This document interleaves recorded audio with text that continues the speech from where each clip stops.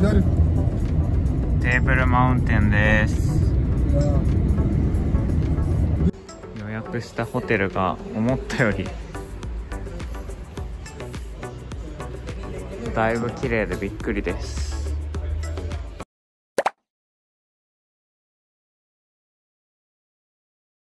いやーすごい。1泊前4500円で朝食付きなんですけどいやいいんじゃないですかかなり。4500円だよ。かなり場所もいいとこにあるし最高ですね。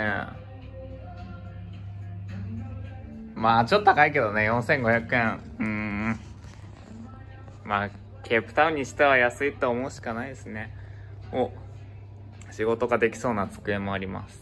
ここおすすめです本当。ロッチホテル。ケケープタウンロッチホテルっていうところです。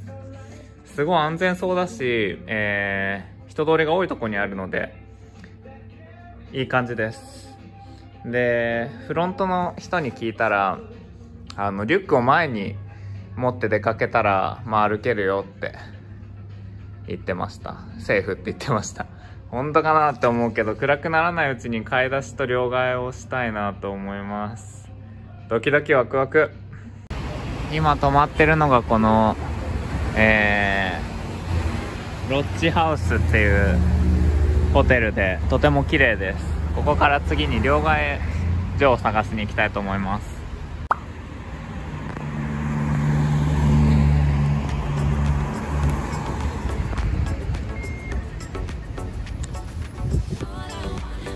なんか怖いような安全なような。すごいね。ブエノスアイレスに似てますね。日本食料理屋とかがあります。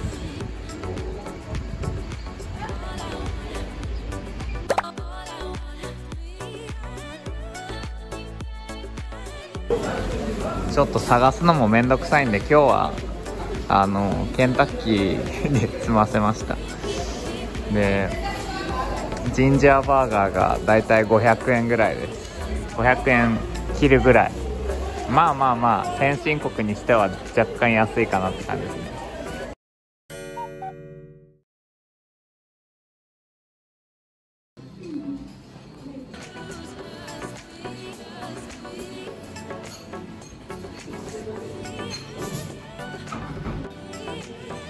いやこれ無料ですよ。めっちゃいいですね。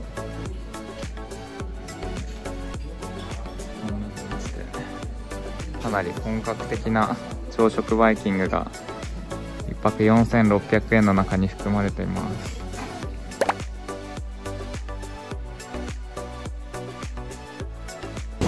今日のケープタウンはまあ小雨です。今冬なんですけど冬に雨が多くなるのがこの南ア、えーと、ケープタウンですね。南アフリカ自体でかなりいろんな気候があるんですけどそこでなんか撮影をしてますね。でこれからスーパーに行って、えー、傘を買いたいと思います。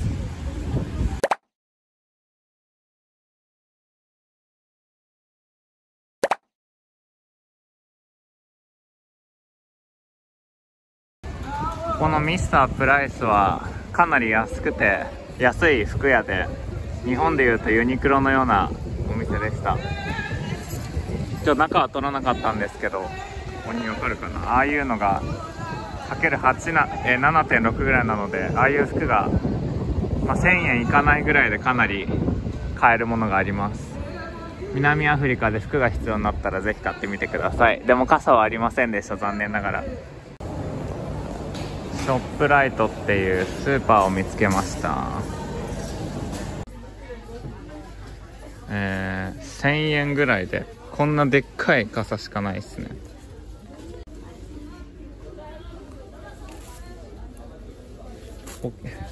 カバンに入らないやんけ。スーパーがあるのは収穫だったんで何か必要だったらまた来ようと思いますけど。まあ高いですね。あれであのへんてこりんなでっかい傘で1000円ぐらいするって思うとちょっと無理ですね。100均みたいなとこがあればな。なんかここもかなりお安い服屋でしたね。南アフリカ服は安く買えるのかもしれないのでなんかちょっと見てみようかなって思います。このショッピングセンターは地元の人がたくさん買いに来てる印象です。ちょっと物とか盗まれないか気をつけながら回っていきたいと思います。これからキャッスル・オブ・グッド・ホープっていう観光地に行こうと思うんですけどどうやらそここからこのショッピングモールからそこまで行く間の治安がとても悪いらしいので少し遠回りしていきたいと思います。この治安の情報は地球の歩き方の地図のページに、えー、このエリアは特に治安が悪いっていうのが書いてあったのでそれを参考にしてます。7徒歩7分の距離なんですけどまあ15分ぐらいかけて行けるかなって思います。まあウーバー乗ればいいっていう話なんですけどせっかくなので少し遠回りして歩いていきたいと思います。もう完全に 怪しい怪しい格好ですよね俺俺自身が。全身真っ黒。